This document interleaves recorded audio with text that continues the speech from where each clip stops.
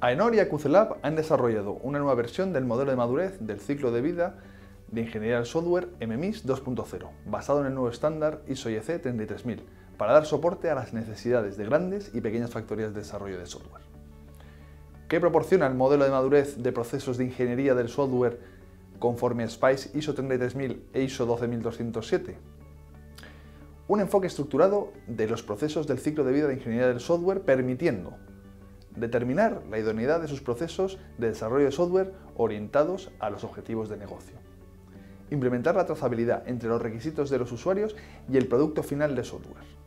Conocer el estado de sus procesos de desarrollo de software, identificando riesgos y buscando la mejora de los mismos. Considerar las metodologías clásicas de desarrollo de software, como son cascada, iterativo incremental, o las más recientes, Ágil, Scrum y su relación con DevOps y nuevos escenarios como son las aplicaciones móviles. ¿Por qué debo certificar mi factoría de software o unidad de desarrollo conforme a SPICE ISO 33000 e ISO 12207?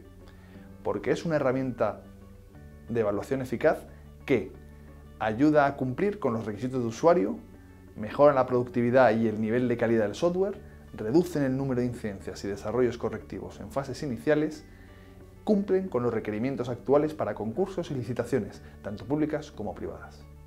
Es decir, el modelo de madurez de ciclo de vida de ingeniería del software es una herramienta útil en estos nuevos tiempos digitales. Si necesitas solicitar más información sobre esta certificación u otros referenciales TIC u otros servicios de AENOR relacionados, puedes visitar la página web www.enor.com.